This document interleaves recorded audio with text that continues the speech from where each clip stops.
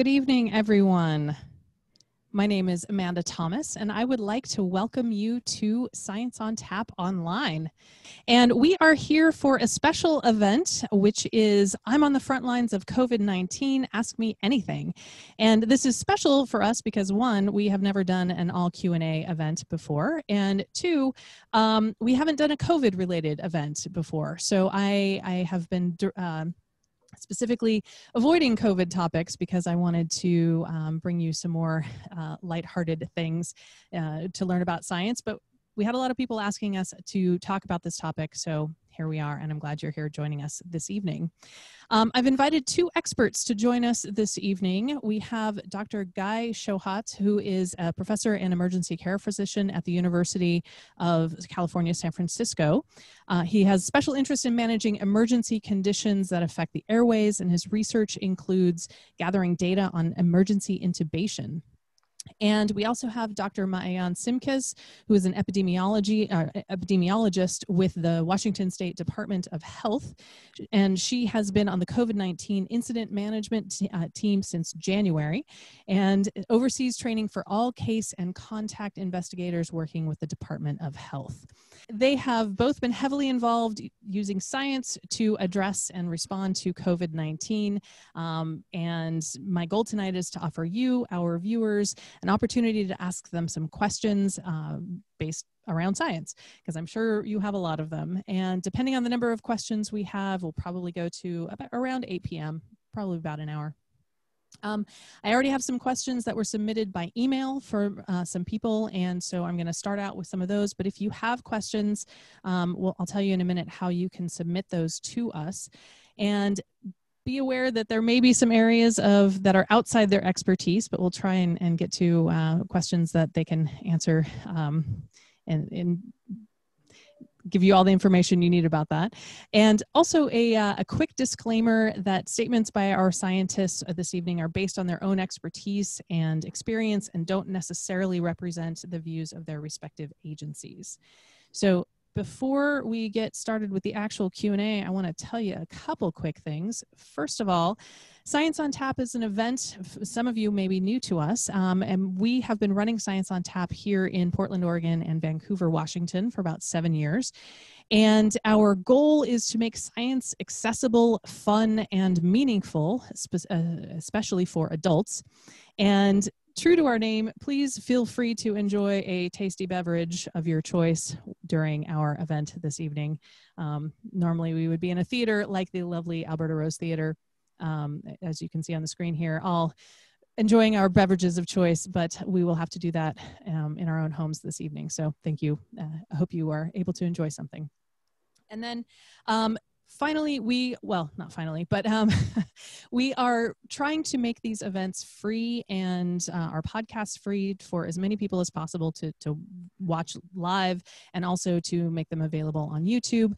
But we can't do that without your donations and we are grateful for donations of any size. And i will tell you at the end we'll have some links on how to um, donate to us and be really appreciative of that. And um, I would love to welcome our guests this evening. Again, we have Dr. Guy Shochat um, and Dr. Maayan Simckes. Welcome. Hooray. I would, I would love to give you an opportunity to uh, introduce yourself and give us a little bit more information on who you are and, and what your area of expertise is. So Maayan, why don't you go ahead first? Great, thanks Amanda. Well, I'm excited to be back. This is my third Science on Tap event, but I've had about a five year hiatus in between this and the last couple.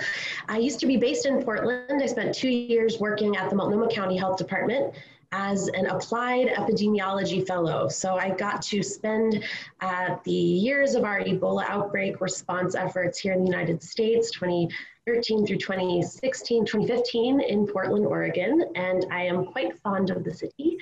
Um, my background, as you've heard, is in epidemiology. I spent my uh, undergraduate years studying community health, moving into a master's in epidemiology back home in St. Louis, where I'm from.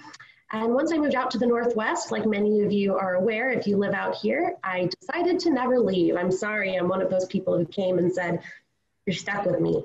Uh, so now I live up just south of the Seattle area and I work for the State Department of Health. I've been here for just under a year. I was doing my PhD before that in epidemiology, and my background's a little all over the place. Everything from infectious disease response work to um, opioids and naloxone and violence and injury, mental health. Uh, so a little bit all over the place. And I was brought on to work in our COVID response uh, because we needed more epidemiologists. And I happen to have a lot of background working on Ebola response efforts in Oregon. And so I was put to work. So the past several months, I have played a few different roles within our agency's response effort. But since April, my primary role has been overseeing all of the training for investigators who are responsible for calling people when they test positive for COVID 19 or if they're exposed to somebody who has COVID 19. So if you've received one of those calls in the state of Washington, it was probably somebody I trained, unless they were calling from a local health jurisdiction, and that's a whole other story we can talk about. So that's me. Great, thank you. Uh, Guy, can you give us an introduction? Absolutely. So my name is Guy Shochat. I'm an emergency physician at UCSF in San Francisco, though I live in the East Bay in Berkeley. I did my uh, medical school in Montreal, McGill University, and then my emergency medicine training at Kings County Hospital in Brooklyn. And the last 20 years, I've been at the University of San Francisco Emergency Department, um, with also some uh, time spent at Kaiser Oakland and at the Trauma Center Highland Hospital in Oakland. Um, my main focus in emergency medicine uh, for the last 20 years has been uh, emergency airway management, um, teaching it, devices, and the last 10 years I've focused more actually on late career physicians. So helping uh, mid and late career emergency medicine physicians who have been sort of spooked by new technologies, I've been sort of demystifying those technologies. And then about two years ago, had a radical uh, career shift where I became a health informaticist. So I manage the um, electronic health record for my department. And so basically learning a new language at 50. Um, and so although I'm not on the incident, was not on the incident command team at UCSF, um, because I'm sort of direct two things that were very COVID intensive, airway and the electronic health record, I ended up sort of by default doing a lot of COVID things for our department. Um, though thank goodness I did not have to be in direct leadership for this, this one. And so a lot of a lot of things had to change very quickly from an informatics point of view, actually in response to COVID. Things like signaling internally, who is at what point in testing, who's a positive, who's a negative, who's a maybe. This all had to be done on the fly in real time.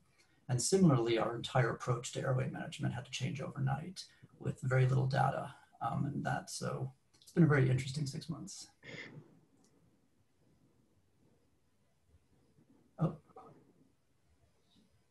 I can't hear you. Whoops. Yeah. Sorry about that. I'm yeah. Um, what I was saying was uh, kind of ironic that I'm hearing in the chat that both of you are a little bit quiet. So if you, um, yeah, um, that would be wonderful. Uh, so everyone can hear. And I will try and remember to use my unmute button lots of questions about a lot of different topics and i'm going to start with masks because everybody is being told that they should wear them and but are they good for the people who are wearing them or the people around them or homemade masks n95s please tell us what we should know about masks yeah, there's quite a lot to know. I'm going to answer briefly and I'm going to hit it over to Guy and see what, what I missed. So when it comes to masks, the messaging early on was kind of wonky. the public from the CDC to your local level that people shouldn't really be wearing masks. It's not essential. And the reason is because people were jumping to get those N95s and get those surgical masks and wear them. And we were running into supply chain issues. We were running out of resources for our frontline healthcare staff. So that was the first initial issue. And I think it actually led to some confusing messaging down the line when it comes to mask wearing. So what you saw over the following months was a push more for people to make homemade masks or ordering them online in some sort of fabric format. Every company has come up with their own version. And the reality is that not every mask is created equal. The more layers you have of fabric, the better they are at protecting you as an individual. And it is important to wear them. They are effective at helping to, to prevent the spread of disease, but they're not perfect. And part of that has to do with people not really knowing how to wear the masks. So masks good, wearing masks correctly better. I'll leave it to Guy now. okay, masks. By the way, I turned up my audio. Is that better now? Excellent. So I think in the the simplest thing, I, I agree. Mask use was highly underplayed at the beginning of uh, of the pandemic. In very simple terms, you wear a mask in public to protect others. We wear specialty masks in the hospital to protect ourselves. Um, so yeah, uh, the the people saying I I'm not afraid. I don't need to wear a mask. That's not why you're wearing a mask. You're wearing a mask to help stop transmission. Um, any mask will do. There is some a little bit of recent question about buffs, and we could go into that in detail later. But really, we don't know the answers. But having some sort of fabric between you and the people you're breathing on is going to be somewhat effective. More layers is better. Harder to breathe through is better. Having it, as Maayan said, tight around your nose and not easy to eject out the outside is going to help. There's not a whole lot of reason for you walking around the street to be wearing an N95. Um, do we want to go into even more detail about masks with vents and all of that, Amanda? Um, let's. We've got a lot of different subjects to cover. So I think we'll hold off on that right now. Um, and just to you who are watching, if you see me looking off to the side or down, I'm, I'm looking at the computer with all of your questions. So I apologize if that is distracting. Um, but I'm going to ask you, Guy, we, we talked about briefly in, uh, in pre-show, you were talking about the difference between aerosols in the scientific and the colloquial sense and how there's perhaps some um, challenging messaging around what aerosol that term means. Can you talk about that a little bit? Yeah, I, I think that there's been a lot of misunderstanding by the public when scientists and doctors are fighting back and forth of is this is this virus aerosolized? Is this transmitted by aerosol means? Um, and I think that the misunderstanding is for most people, this virus is transmitted as aerosol means it's transmitted through the air. There is no question that this virus is transmitted through the air, that by talking to someone across the room from them, you can transmit it to them. When we say the term aerosol, we mean something very, very specific. And it, it, involves it being able to live literally floating through the air, but not attached to respiratory droplets. And this is and this affects how we, what type of masks we wear, what type of isolation rooms we put people in, whether we need special negative pressure filters. This, this is very important to us. This isn't terribly important to the general public. I think that when people, when they hear scientists like me arguing, I'm not a scientist, I'm a physician, but arguing this is not aerosolized, we're just arguing some very specific internal stuff. We are not saying this is not transmitted through the air. It is absolutely transmitted through the air. It's just transmitted through the air through little micro droplets, through little respiratory droplets. And I, I think that's a sort of a very important one. And let us, it, by all means, if you want to talk about it, we'll talk about what aerosol means, but understand that you breathing out little respiratory droplets is how the majority of transmission happens, not from touching a surface, although that certainly works as well. And that's why the, the mask wearing is so very important. Yeah, I'd, I'd like to talk a little bit more about transmission. We've had a lot of questions about um, fomites specifically, which if you could, one of you, please uh, define what a fomite is, but I'll also talk about you know surface transmission and, and how likely that kind of thing is. And should we be disinfecting all of our groceries when we bring them home? Yeah. All right, I'll take the first swing. So a fomite is an object that is contaminated with the virus. We would call something a fomite like um, a cup that somebody picks up after they've coughed on their hand and they've touched the cup and it's now on this cup. This is now a fomite. Same thing for a doorknob or the handle when you're getting onto the bus and you're trying not to fall and you're hanging on. So a fomite really is just saying a hard surface, not a living person, that is contaminated and can then go on to infect another person when they touch it. Now, what's important to remember is COVID is not one of those viruses that magically absorbs into your body when you touch it. The answer is you have to touch it, and then actually it has to be ingested in the body either through the mouth or it goes through the eye, or you can breathe it in through your nose it is not something that you're just going to soak up through the skin. So, what does it mean to have a fomite nearby you? If you go ahead and touch that cup and then you forget to wash your hand and you go rub your eye, right? That's a potential opportunity for you to become infected. That's a route of transmission. And we've been talking a little bit already about what happens when we have uh, coughing, sneezing, talking, that airborne transmission. This is just a different kind of transmission. And like I said, it's not as common. Viruses like to spread through the air. It makes it easier for them to spread. They do a better job of perpetuating themselves throughout the population.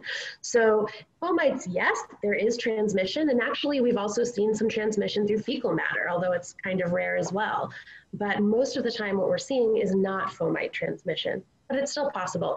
So do you need to uh, clean all your groceries like a, just pour the bleach all over them? Probably not Probably not. But if you are a high risk community member and you have particularly high risk needs related to your immune system, the guidance will probably be a little bit different. And you'd most likely want to work with your healthcare provider to figure out exactly the right recommendations. Excellent. Yeah, I agree. I think that we just think of it simply as mo- most of where the virus is coming out of your body is not it's not living on your skin it's coming out of your respiratory secretions so if you talk loudly and produce a little saliva, that's going to produce more. If you sing, that's going to throw a bunch out or shout. If you sneeze, that's going to be this just wonderful virus generator. But at the same time, if you sneeze on a surface and then some like or on the food of the person sitting across from you in a restaurant, that's going to be a problem. If you sneeze on a surface and someone touches that surface and then eats a french fry without washing their hands, that's going to be a problem. This is where hand washing or alcohol on your hands becomes very effective. Um, that's that's much easier than than sort of radically trying to clean every surface. If you can keep your hands clean after touching things before touching your face or touching your food, that's a great start. And this is also where masks are just so so helpful. Having a simple barrier across your mouth is great. Um, there's a really interesting question in the chat window. I know you're supposed to be doing this, Amanda, but someone said, "Then cloth why cloth mask should also prevent you breathing it in." And because I did, I did sort of leap into masks are more to protect others. That's where it gets more interesting. And maybe I'll let Maayan. Do you want to talk about like? You go ahead. Okay. Um, so I mean, surgical masks are those little funny paper things. They're actually really fascinating. They're not just pieces of paper. They're pretty highly designed with actually have they carry a certain electric charge that will help actually trap little particles as they try to enter. So that they're actually unless they get really uh, visibly soiled they're actually incredibly effective at preventing droplets from from entering inside. And we found that just in fact a simple for for most of uh, healthcare associated things. We actually don't need N95s in a lot of cases. Just a simple face shield and a surgical mask can be incredibly effective in protecting us as long as we also wear gowns, use gloves, and clean our hands constantly so we don't, when we're taking off our own mask, just give ourselves COVID. And this has been a real problem with people taking off their N95 with dirty gloves.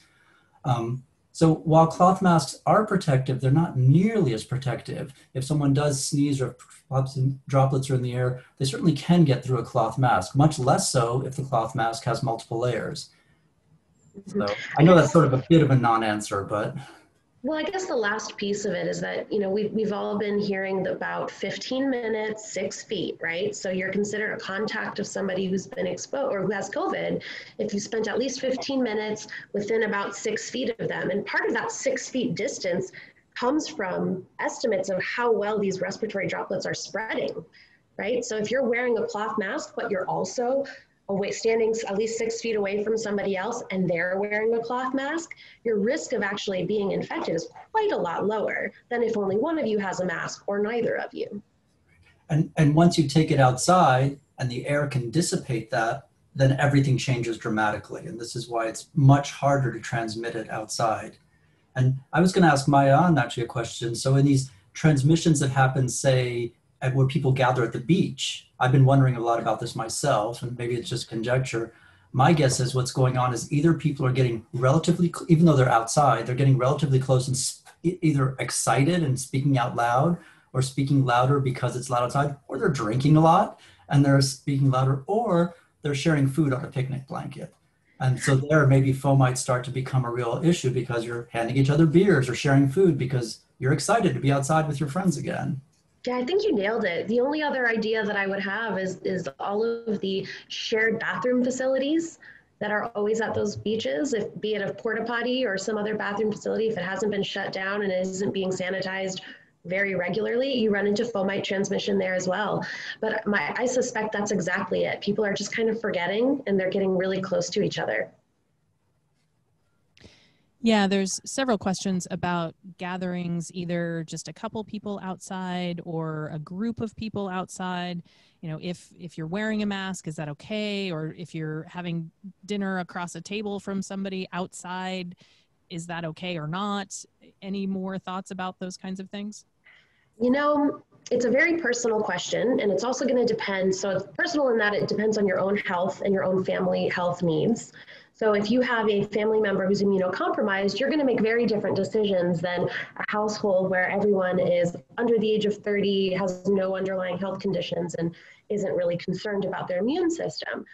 Uh, let's let's make this personal for me. I don't intend to eat in a restaurant for a very long time, and I have not done so since January of this year um, if that gives you a little bit of perspective. Now, I live in a state where we have counties that are moving into different phases of reopening. In fact, the county I live in has open dining rooms with reduced capacity. I still won't eat in them personally because we know, for all the reasons we've already described, that the risk of transmitting via fomites or by air to the person at the table six feet away from you or the person who's maybe in the booth behind you that's five feet away, still pretty high. Um, does that mean that you can't have gatherings of people? No, of course not. I think there are, are risks that we have to be uh, willing to understand and, and take ourselves. So if I want to visit a friend who I haven't seen in a long time, I really have to think about it. Is it worth putting that person and myself at risk by putting us in the same space? And if we do decide to enter the same space together, how can I maximize safety? So Guy talked about the benefits of being outside, and that's key. So in Washington, some of our guidance is that if you want to have gatherings with people outside of your household, the recommendation is first of all, keep the number small. Try to keep it under five people a week who you're actually seeing, and preferably keep it to your own bubble. Find the people you're always going to be in touch with, know who they're in touch with, and keep it a small unit. And then still, when you're outside, keep six feet apart and wear masks as much as possible. Are there exceptions? Sure. And I think it's a very personal choice. I do think that um, there are certain factors that might play into it aside from your immune system. It might be also your job. If you, for example, have a high risk job, uh, that could make you more likely to be an asymptomatic case, meaning you could potentially infect other people without knowing it. You might make a different decision if you have a high risk job. Or maybe you're an essential worker and you work in a hospital and you want to also make sure that you're able to go to work. So there's so many different pieces that play into it. And I think ultimately, you know, I can tell you what I'm doing. I haven't actually spent in person time with friends in several months, and I have no intention of eating at a restaurant anytime soon. But if I need to go to the grocery store or make a trip to Costco, I put on my mask. I make sure I have my hand sanitizer in my pocket. I bring a little wipe so I can wipe down my cart myself and I go out. It's not the end of the world. Yeah, I I agree. I I think that I'm in basically zero rush to do any sort of indoor events. Um, I while I desperately miss these things, um, I but I think socializing outside is wonderful. I think walking, going for bike rides, those sorts of things are fantastic. I have certainly hosted people on my patio and in my backyard and gone to theirs. Though I did start to see that I, it's funny, I came to the same number. Five or six people is sort of the magic number. I can even see as it got there, beyond that, it gets a little out of control. It's hard to, it gets exciting. It's hard to not instantly get in, into other people's faces. And if you add any degree of alcohol or intoxicants, things start to break down. I've watched this, things break down very, very quickly. If you go to any sort of big city park on a sunny day, you watch how this all falls apart really quickly. Um, but I think most outdoor activities with relatively small groups, super safe, super good. Just don't forget, don't don't start. It's so easy to hey, you want some of my Coke or my water bottle or even on a bike ride? But I think in general that's that's quite safe. Whereas for my parents who are uh, 79 and 80, I have very different rules when they ask me how should we go about. I'm like, nope, you don't need to, you know, you don't need to do any of this. You're fine. Go for a walk. You know, if you want to socialize with us on the porch, that's one thing. But and similarly for my for my kids in their 20s, you know, they have a slightly, I think, higher tolerance than me. But I'm still reminding them that they don't want to start being the spread of this. So many questions. Um, I'm trying to, to weed through. Uh, oh, I see a question, my favorite. Lots of uh, trying to, to pick out some commonalities. A um, couple questions about testing and for example, if uh, somebody goes to an event or a, a, workplace or something where they have to take a test in order to be um, admitted, is that legit or does that lead to a sense of overconfidence? Um, how um, effective are those tests? And eh, or, you know are there ones that are better than others that, that people should be looking for? Um, tell us what you know about tests. I think that's you. Oh it's me? Okay. I mean i'm happy to opine but i think your knowledge is better on this one. Uh, okay we'll both have to swing at this one again. So Testing is a big question, and it's been in the news a lot in the last 24 hours because some of the CDC guidance around testing uh, has been changed. I'm not going to say that CDC technically changed it. It was essentially changed due to some uh, encouragement from federal government, uh, and it was not actually based on, I think, what leadership at the Centers for Disease Control really wanted to do. So that's been in the news a lot lately. Uh, and that really gets at the idea of who needs to be tested and when. And the second part of the question, Amanda, that you ask is what are the types of tests essentially and, and how good are they? So when we think about testing and how we define somebody as either being a confirmed case, having confirmed COVID or not, we rely on one kind of test, that is a PCR test. This essentially looks for viral genetic matter, RNA, in the body. The PCR test is our gold standard for COVID 19. The other test that you hear the most about is going to be a test for immunity, right? It's going to be an antibody test. And this is looking to see has your immune system started to respond to the presence of the virus recently, in the past?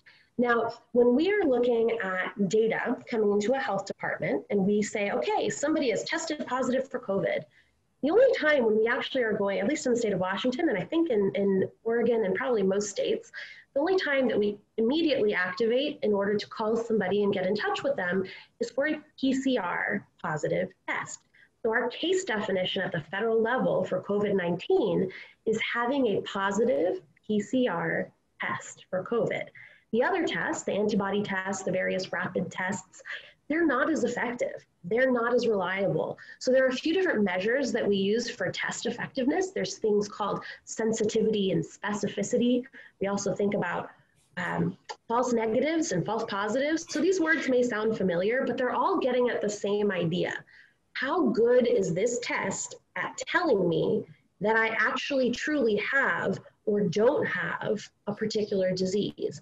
And in this case, the most reliable test is that PCR test. It's that nasty swab that goes up your nose and maybe swirls around back in your brain a little bit.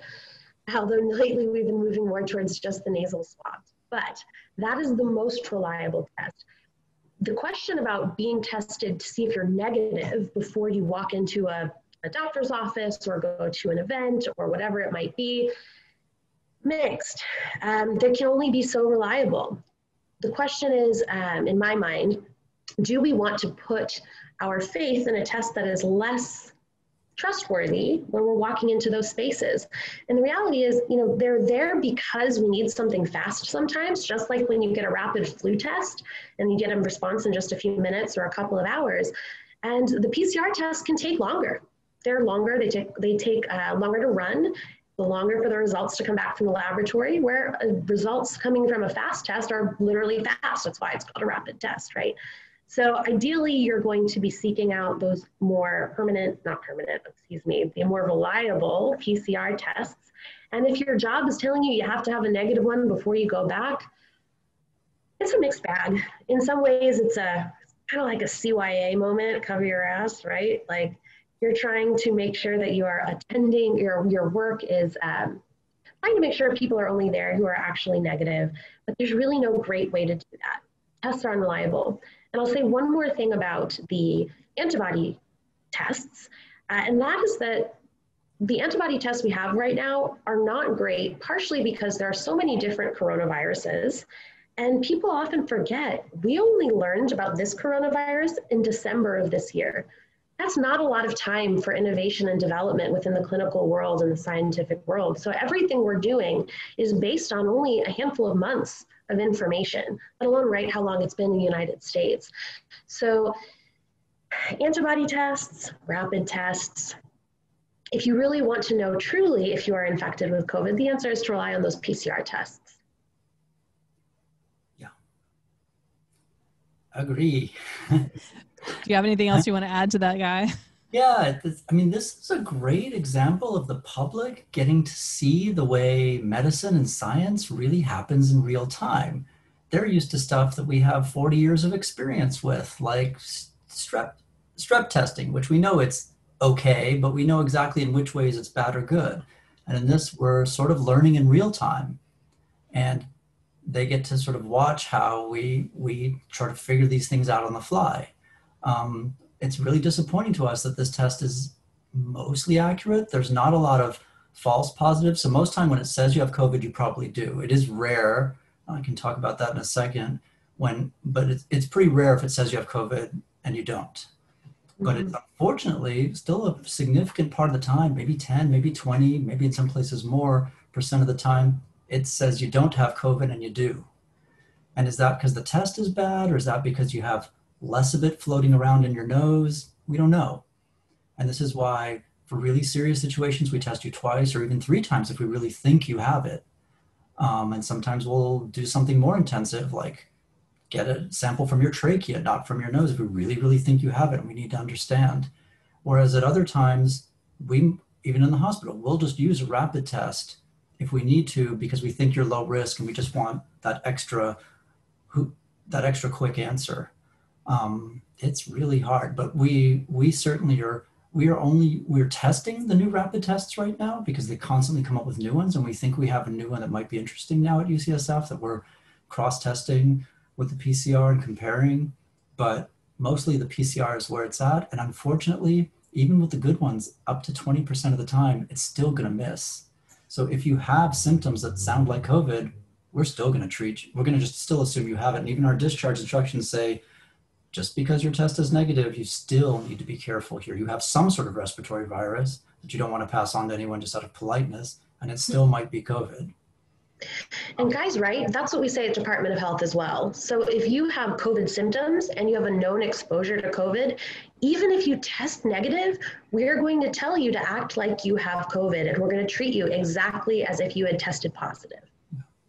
I, and this is more politics and less science, but the it's very sad right now that our COVID testing capacity is so bad that there are huge delays. Because if you get a test but you don't get the results back for seven days, then from my perspective, that's almost a useless test. Like, what have you done? Un- unless you've been really good and then self quarantined waiting for those seven days, most people just hang out and do whatever they're doing for those seven days. And their contact trace list just got a mile long while they were waiting to find out what their test was. And whenever I've tried to get a test outside of my hospital, it's been really interesting seeing how hard it is for the general public to just get a test.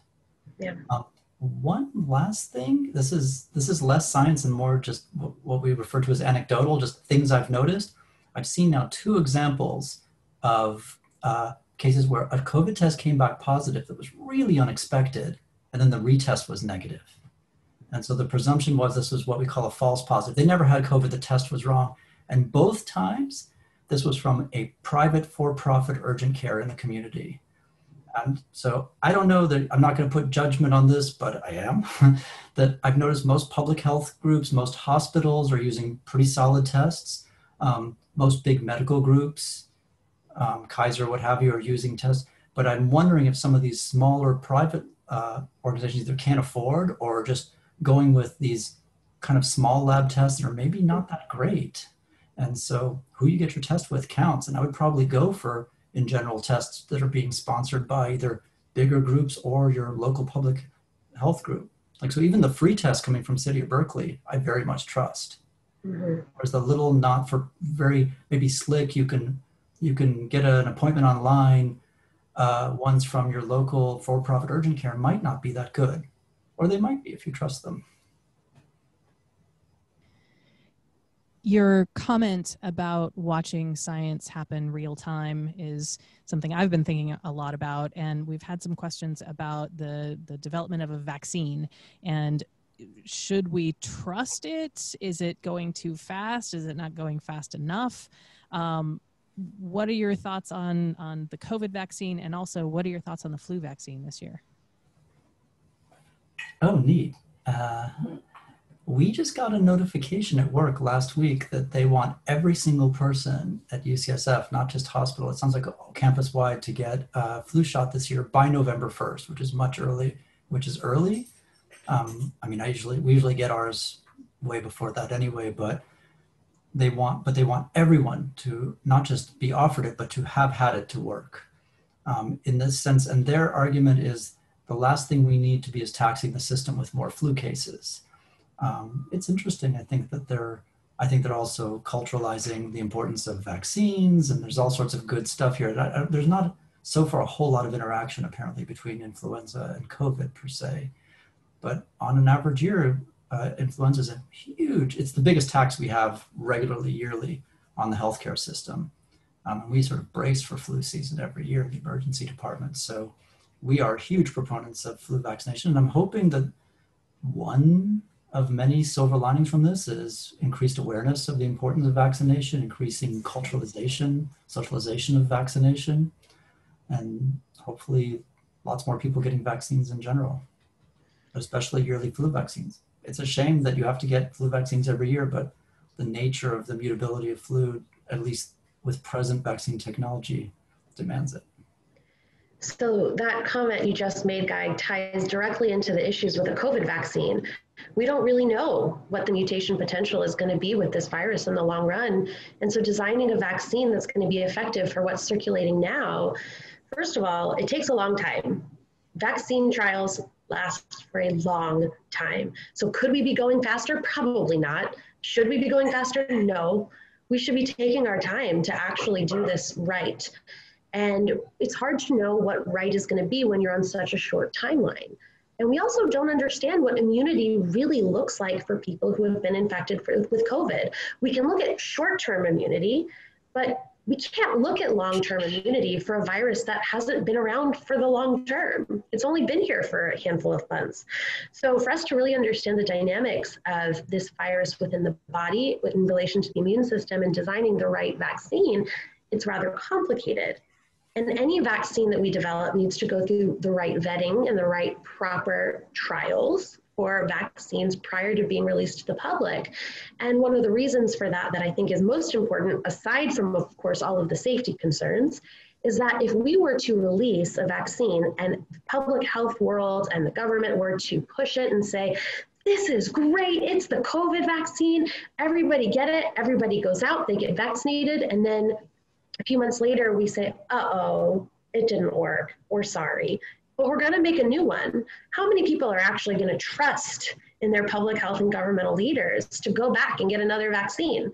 So it's important for us to maintain that trust and build the culture that Guy is talking about when it comes to vaccination as well. Yeah. yeah. Contrary to some popular pop culture belief, vaccines are some of the safest things out there despite the fact that they're doing something incredibly scientifically dangerous, which is tweaking your immune system.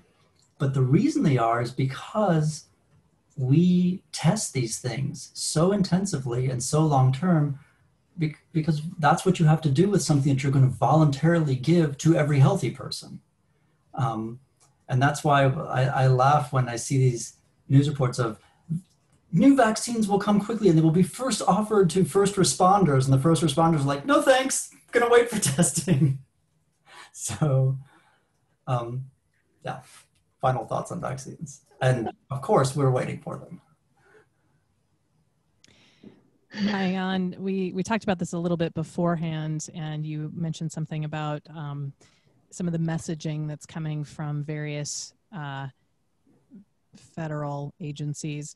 And I we, we got a question before that I, I, sent you, and it said, despite what we hear in the press, I'm hopeful that there are functional groups working at the state, national, and international levels of COVID. Who and what groups are working well together, and who are not? Where are advances being made, information being shared, and the science and organizations that are working well together? Where are they not? Such a beautiful question, and there are so many parts. So I'm going to try to get at the heart of the question and then tell me if I veered off our path too much, Amanda. So I think what's at the core here is first of all, how does public health operate? Who really has a say in what things are being done? And who has just enough power to kind of throw a wrench in things? So let's start at the local level. In Washington and Oregon, we are both considered decentralized states, which means that the local health jurisdiction, the local health department, has the authority to invite the state jurisdiction, the state health department in to assist with investigations and public health work. So if you live in Multnomah County, Multnomah County Health Department is going to be making decisions around public health, working with Multnomah County leadership. And if help is needed, they will ask the Oregon Health Authority to come in and assist. Same thing in Washington and same in many other states around the country. Other states are set up differently where that centralized power is with the uh, state agency and they actually have a little bit more oversight. And I believe that's how it is in Texas, but don't quote me on that. So what does that mean in terms of agencies working together?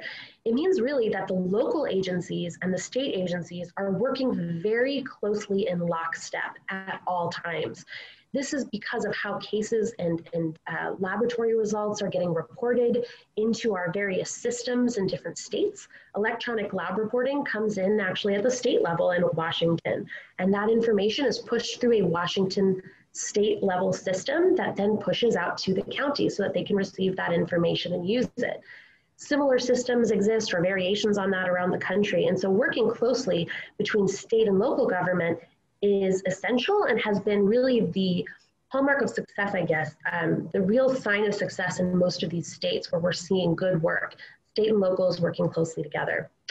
Uh, in previous response efforts, we've seen a lot of coordination come from the uh, Centers for Disease Control. So in our Ebola response, one of the uh, important features was that we really were tracking international travel and flights that people took once they had been exposed to Ebola virus or if they uh, were later identified as having been ill or exposed to an ill person. That coordination between various, uh, they're called quarantine centers or uh, quarantine stations for the Centers for Disease Control, that was all really managed at the federal level through the centers, through the CDC. It's not really happening now. At this point, the juice isn't really worth the squeeze for tracking flights and when people are traveling. It was a little bit more earlier on in the response, and CDC was involved in that, but less so now. What folks are probably noticing is some of the messaging coming from the federal level is not exactly the same as what we are seeing at the state and local level. And more importantly, when I say federal level, I'm talking CDC, we're talking Health and Human Services, NIH, right? And then we also have our White House. So the messaging is different from different places and it can make work more challenging. And I think the heart of this question really is how well are we actually responding to this given some of those challenges in communication and partnership across these agencies?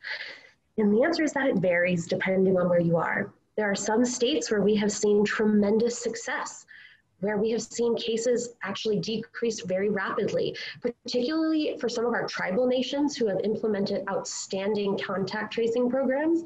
We have seen illnesses drop uh, really rapidly, and the disease has been all, all but halted. And there have been other states, namely in the southeastern United States, I'll point my finger at Florida today, where there is a lot of spread of disease. And it has to do with disconnect between the state level leadership and science. So it's not just disconnect between the government agencies that are all operating, it is also a disconnect from scientific data. And of course, with the folks on this call, I'm sure you are very well aware that a disconnect from science doesn't necessarily mean that people have malintent. It can often be people don't understand, or frankly, that we as the scientists are not doing a good job of conveying information. And that is the hallmark of an epidemiologist. We are not great at sometimes sharing information and uh, it can be a communication challenge. So I'm trying single-handedly to fix that for my entire profession. Um, so there's a lot that comes into play here. And I think ultimately we have to look at the challenges that sometimes come from above and recognize that we have in the uh, Wizard of Oz sense, we have what we have always needed all along, and that is the science. We need our leadership at this point across the country and at all different levels of government to understand, acknowledge, and embrace the scientific evidence that we have in front of us to really stop the spread of the disease. Guy, do you have anything? Yeah, I, I do. I have something on a, that was amazing. Um, I want to add a whole a little different side, which is the the informal communication that's happened outside of these agencies, and that's been really interesting in the way internet and other media's have helped uh, spread uh, sort of communication and thought processes in responding to a novel threat like this. So I'm unfortunately old enough to have been on the tail end of the or the the tail end of the worst part of the HIV epidemic and saw the, the terrible communication that was going on that time, the very poor late spread and very late development and a lot of frustration, very poor communication with the public over new th- things. That was a, sort of a tragic period in health, but in, at the same time, late but wonderful victory over a lot, with a lot of the of the the drugs. I remember noticing when when MRSA, when methicillin resistant Staph aureus hit, so when suddenly we were noticing, we, we all, physicians knew about this, this res, drug resistant Staph aureus because we'd seen it in drug user, uh, injection drug users, but seeing it in regular suddenly appear in the community was a real shock when it, this happened, I don't know what, 10 years ago. And before any of the papers came out, we already through in, informal means, emergency and infectious disease physicians around the country had already been communicating with each other talking during our weekly educational conference, we would say, well, I just talked to someone in Davis, he just talked to someone in New York, and they said this. And we had already on the ground changed a lot of our habits, and we're looking into this before the very first papers were out. That was the first time I noticed, oh, wow, this, this sort of informal communication now with the digital age is happening much more quickly. And it was neat seeing how quickly a field like emergency medicine could respond to this very weird thing before we even had full data to study, but we had enough smart people all around the country going, are you seeing this? I'm seeing something really weird.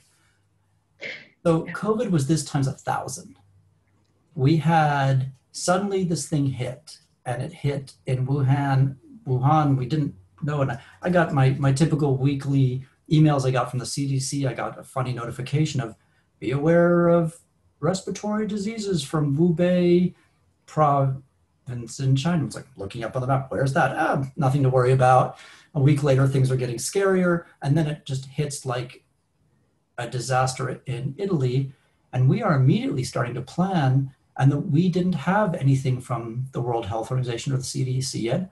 So we got on Zoom calls with mm-hmm. colleagues from Italy, and I was within week one on these calls of here's how our here's how we're doing lung ultrasound in the ICU to look at COVID cases, and here's what we're doing for airway, and we were just through these informal sources before we had information from CDC and WHO, we had our internal organizations. And most uh, academic medicine medical centers have internal lines of communication with other academic medical centers. We have data from all the universities of California at UCSF, and immediately all these different networks were forming, and they've gotten very strong in the meantime. I think this will this will go on further.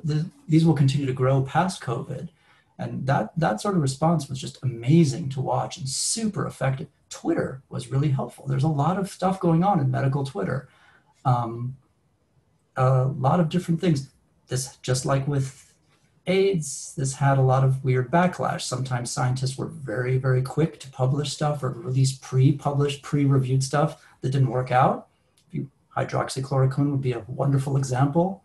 Um, but in general, I was really impressed at how things worked and what our response was, and it was nice to let the public see it.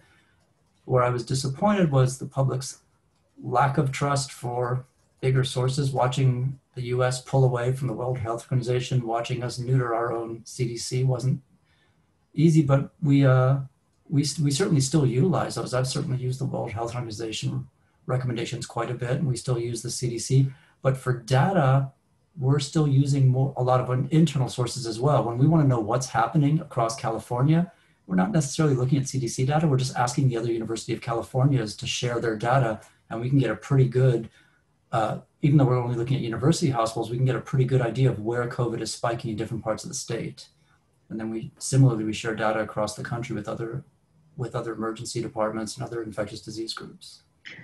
I will say that in different states, depending on the robustness of the public health agency at the state level, you will see really neat dashboards, sometimes using Tableau or Power BI that will have a nice, pretty epidemic curve and will show you the distribution of disease in different parts of the state and look at hospitalization. Um, so I know that Washington has a really great platform, so does Oregon.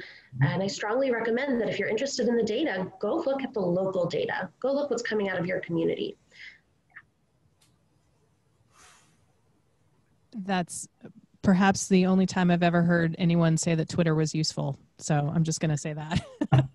um, I am more than happy to make fun of Twitter uh, at all points, but medical Twitter is fascinating, and that's that's one quick breaking news is one place Twitter shines. Great. And we are getting close to the eight o'clock hour and we have so many questions. So if it's okay, I'm going to go a little longer because there's, I think this is really useful. We had somebody say that she reads the, uh, the CDC updates daily and this has been incredibly helpful to her. So um, not too much longer, but a little bit. Um, question, uh, a medical related question related to well, I guess maybe this would be for both of you. Um, uh, how deaths are reported. There's been some conspiracy theories around um, yeah you're laughing Maayan. Um, there, has been conspiracy theories on both sides of that it's being overreported it's being underreported what's the reality guy you want to swing first Ooh, I think this is probably something you know more, much more detail about. So I'm going to let you. Okay. I, I, have more personal theory. I think you actually have numbers. So. Yeah, I do. So when it comes to death data, uh, you know, reporting data mean when you report data, you have to think about two pieces. One, what's in your numerator? Everybody go back to third grade, fourth grade math. What's in your numerator? What's in your denominator? What are the cases or the events that we're counting? And what's the population or the source that gave rise to those cases? Okay, so once we keep that in mind, now let's think about deaths. When we think about deaths related to COVID, that's our numerator, people who have died who have had COVID, what's our denominator? So this is where the confusion comes in.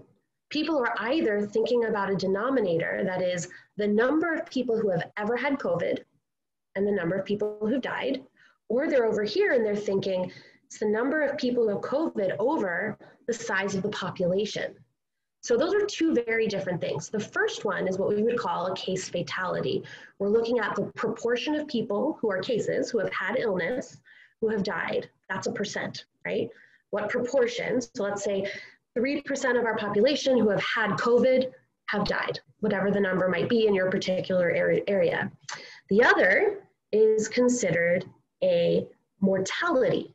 Now, mortality is not the same as case fatality. Mortality is saying how many people died of COVID within the population. So we talk about the mortality from cancer in any particular year could be X number per 200,000 people, or however we're deciding to define our denominator. So for COVID, that underlying population, that denominator can look a little different. It can depend how we're defining it. It can be over a particular period of time. We can be looking at a particular location only, a particular country, and then we use that to create that numerator estimate. So a lot of the confusion and all of the conspiracy that comes around is that people don't actually understand the difference between case fatality and mortality. They're completely different values and they tell us different things. Case fatality tells us how likely is this disease more or less to lead to death among people who have it. Well, the mortality is really looking at how much is this disease affecting our population as a whole, right? So two really different values. Guy, do you want to jump in? No, she got that. I think that the only thing I would add is that we are absolutely testing every unexpected, we're testing every death, but specifically every unexpected death for COVID. We're trying to gather more data about, at least in my hospital, anyone who dies gets tested for COVID because we are trying to figure this out more and we're trying to not miss these cases. You know, that reminds me of one thing, Guy, and that is that in some states, the definition for deaths, and I actually think it might be the same across the country, that if you die and you test positive for COVID, you are classified as having been a COVID related death, even if COVID was not the primary cause of death. And so I believe that is being operated across the country right now. I know for sure in Washington and that can also change the numbers a little bit as well. But frankly, I'd rather have a really wide net and capture everyone so that we can really understand what's happening than try to zero in on that specific cause of death and leave out a bunch of people who have died but also had COVID at the time of their death. Maayan, do you know if in other states or other parts of the country, the Southeast, for example, are they testing all deaths for with COVID tests to see? I actually what... don't know. Yeah, I don't know. We have a number of questions, um, kind of going back to what we were talking about at the beginning uh, personal behavior and what people can do themselves. Had a couple questions, Guy, you mentioned at the beginning um, about when we were talking about fomites and if you cough on somebody's french fries and you eat them, that could be a problem.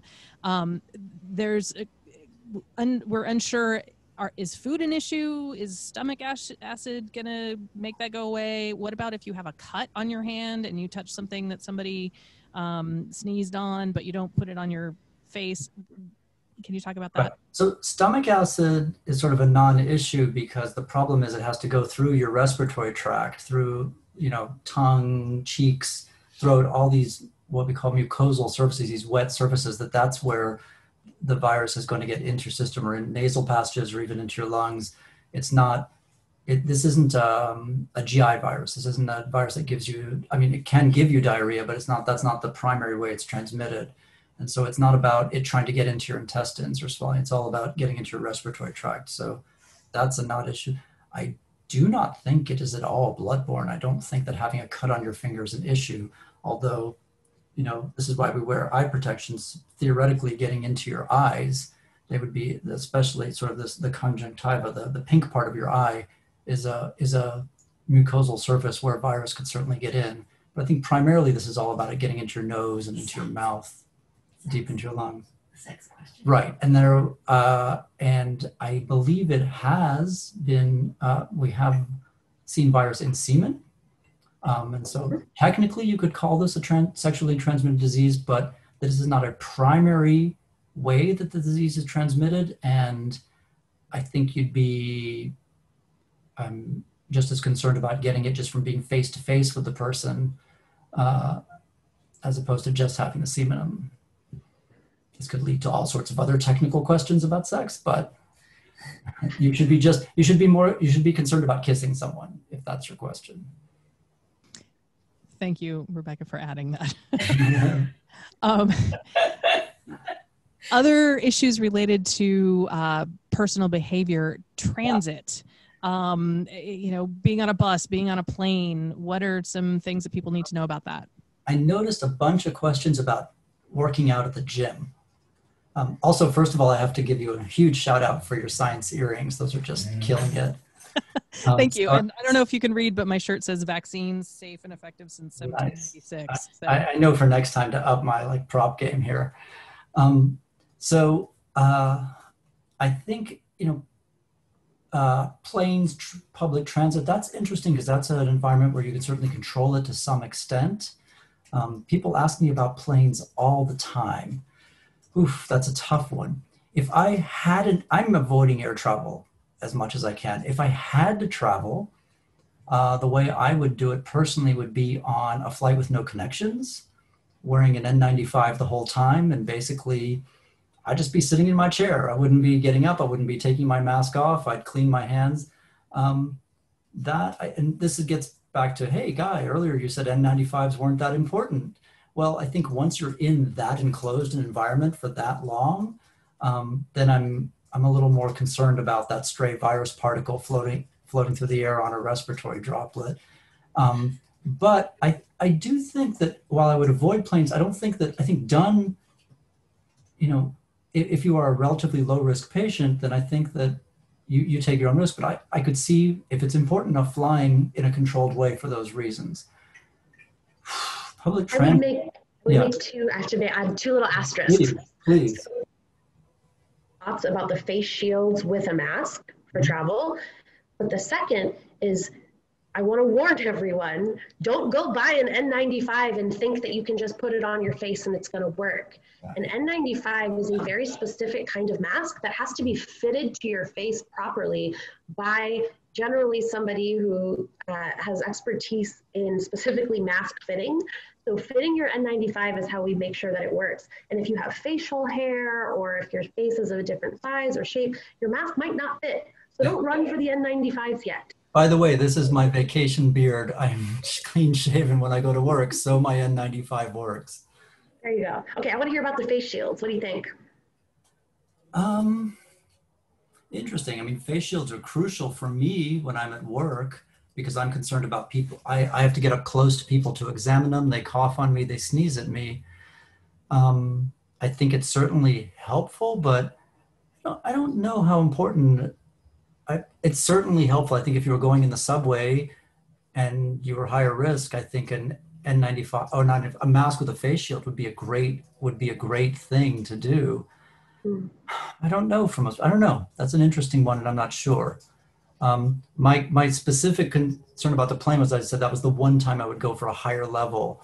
Um, would I go on BART right now on our on our public transit? I would avoid it if I could, but if I had to do it for work, I think that's a place where a surgical mask and a face shield might be a great thing because you just if you're going to be tightly around people and you don't know when someone's going to be suddenly breathing on your face or worse, let go of a sneeze, that would be that would be a great place to consider a, a face shield.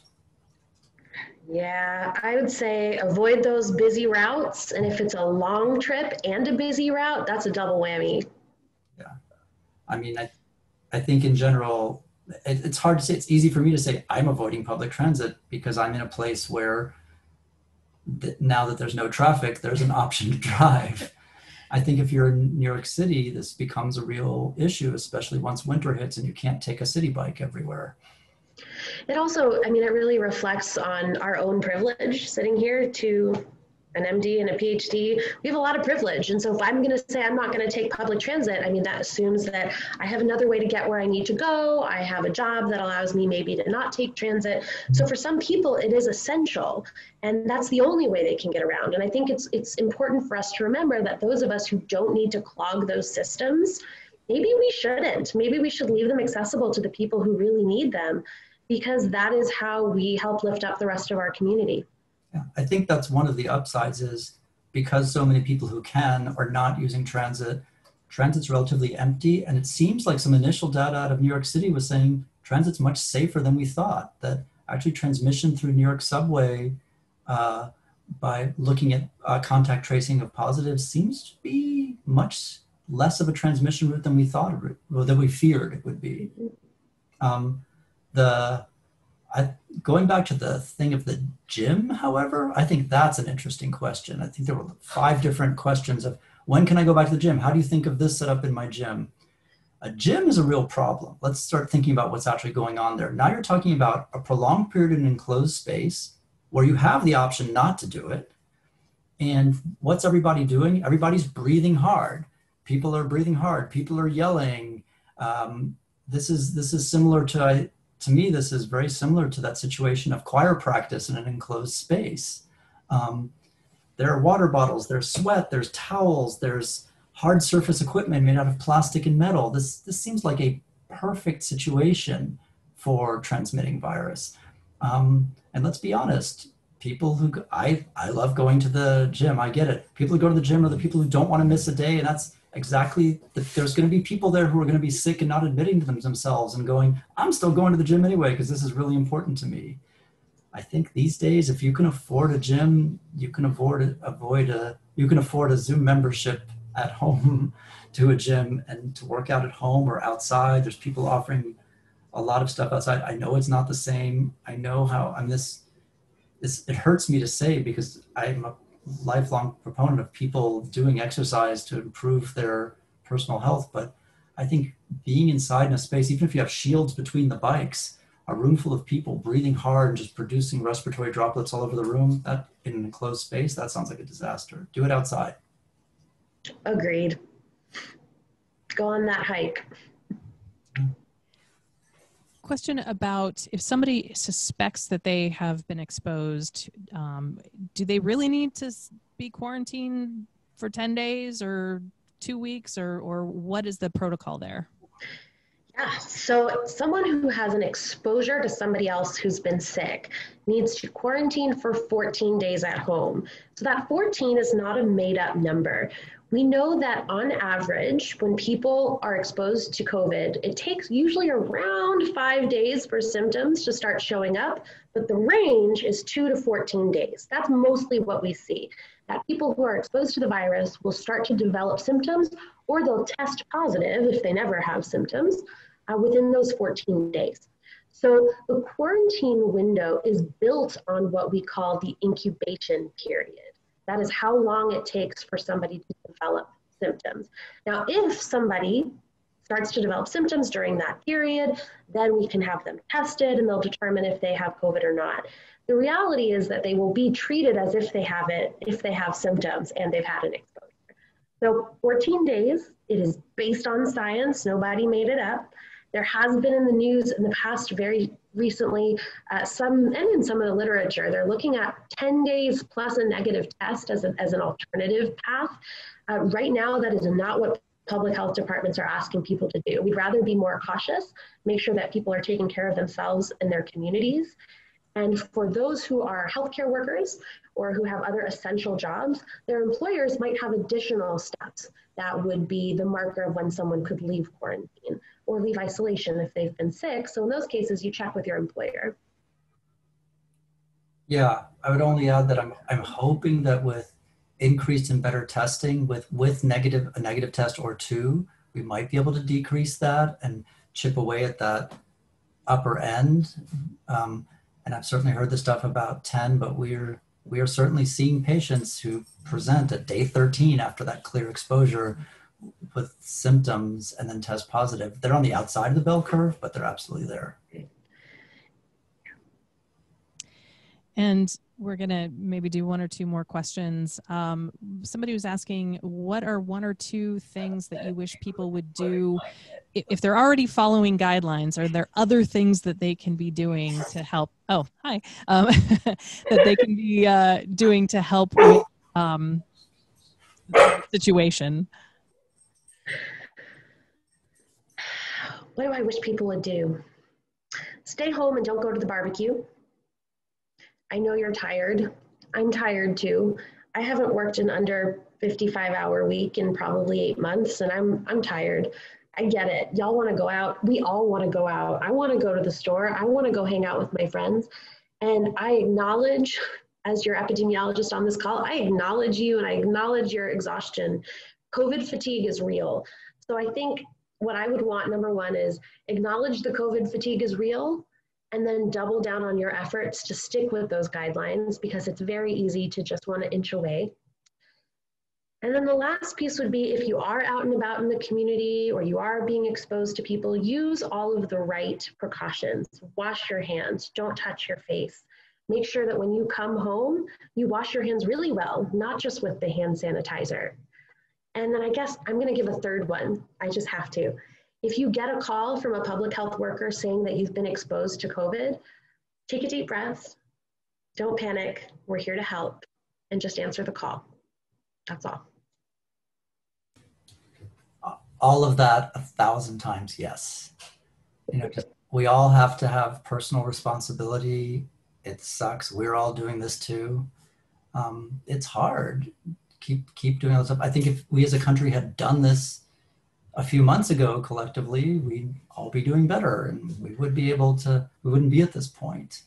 Um, but I see even really responsible people still saying they do all this stuff, and they're like, and and I've just booked this incredible vacation uh, spot up in Tahoe where 16 of us are going to get together, but it, it's okay. We're all going to get tested, and you know, they all got tested two weeks before this event. And it's, I mean, this is just, I get it, but we all have to set, you have to, we all have to do the hard stuff. You know, sure, go outside with a few, have, you know, have drinks out in your backyard with a few friends, go for walks with people, but we've got to avoid these big events, especially indoors. Yeah, we probably have to give up the indoor gym do not be in a rush to go back to indoor restaurants. Do not be in a rush to go back to bars. I think every state that's opened up indoor bars has seen exactly where that's gone. Um, Kentucky was doing so well until the bars opened. Yeah, it's going to be hard. Well, and as a, a final question, um, and I, I, know that there are a ton of questions and very specific questions with, with a lot of details, and I wish I could get to all of them. Um, and if you, as an attendee, are interested in doing perhaps another version of this or a, a second Q and A session at some point with with these fine experts or or some other folks, um, please let us know because I I would love to get that information because if this is valuable to you, I want to provide that. Um, but as a as a final question how are you personally preparing to manage to stay healthy physically and emotionally um, during the winter months when we're all still going to be in, indoors? You know, it depends on where you are in the country. For me in the Northwest, we hit a lot of rain up here. Uh, but I'm not afraid of the rain. Once you live out here long enough, you're okay with that. So I'm planning to try to spend as much time outside as I actually can, even though it's going to be a little rainy and a little dark. And maybe that's just taking care of my garden or walking my dog a little bit longer, but really getting a little bit of that vitamin D that we're all missing up here in the Northwest. So that's part of it. But the other part for me, at least, is establishing some real structure, making sure that I make space for myself to be tired and acknowledge that, you know what, the mental and physical fatigue of being in your home and going through this outbreak together, it's real. It is documented. We have scientific evidence. You are not dreaming it up and you're not alone. So, for me, making space to acknowledge what I'm actually feeling and say, hey, it's okay for me to have a tired day where I stay in my pajamas and answer emails from bed. That's all right sometimes. But also creating structures so that each day we have time where we set aside to maybe do some good stretches in the morning, make sure we're having our meals so that we are nourished throughout the day the way that we need to be, and making sure we get really good sleep. Yeah, that's a great answer. Maybe we're going to have to change our structure of our days a little bit as days get shorter and there's limited uh, there's limited light. Am, am I going to have to break up my workday a little bit more to have more of a break during the day, saying I'm going to need time to exercise outdoors or even see friends outdoors because it's going to be cold and dark or rainy um, at night? I think it's going to be challenging when flu hits. I think it's going to be so much more challenging in places where it gets really cold and snows a lot. Um, anything you can do to maximize your ability to socialize outdoors and it's going to help a lot. A lot of people ask about pods. Be kind to yourself. Well, with that, I think we will say thank you to our two fabulous experts, uh, Dr. Maayan Simckes and Dr. Guy Shochat. Um, you've been wonderful. I really appreciate your time and your your expertise on all of this um, and had a bunch of people saying, yeah, we should do this again. So I'll, I'll be in touch. Um, but thank you so much. Um, and thank you all for coming. I have just a few things that I want to share with you. So next week, next Thursday, on Thursday, September 3, our next event is going to be Back to the Night, the case for dark skies with uh, Mary Coolidge, who is Portland Audubon's Bird Safe campaign coordinator. And she's going going to be talking about um, birds specifically, but lots of different animals and, and why we should be turning off lights and, and science around that and, and um, dark night uh, related issues. So if you are interested in, in animal health and human health and related to um, circadian rhythms and that sort of thing, I encourage you to come join us next week on Thursday, September 3. And quick thank you to our Patreon supporters. These are all the people who are supporting at $10 or more a month. I keep having to um, reduce the font size on the names because we keep growing, and I am so very grateful to all of you for doing that. So thank you. Um, it really means the world to us. And Also, um, as I mentioned at the beginning, this is a donation event. We want to make this available to as many people as possible, um, but we do have bills to pay. So if you are able to, um, we are most grateful for any donation of any size. You can uh, join us on Patreon, as I mentioned, um, or you can make a one time donation through our nonprofit partner, which is Make You Think, is the organization. And you can go to makeyouthinkorg slash support and make a donation there. And again, pardon me. Again, thank you all so much for coming and for wanting to learn about this thing that is affecting all of us. So have a good evening and we hope you'll join us again soon. Thanks.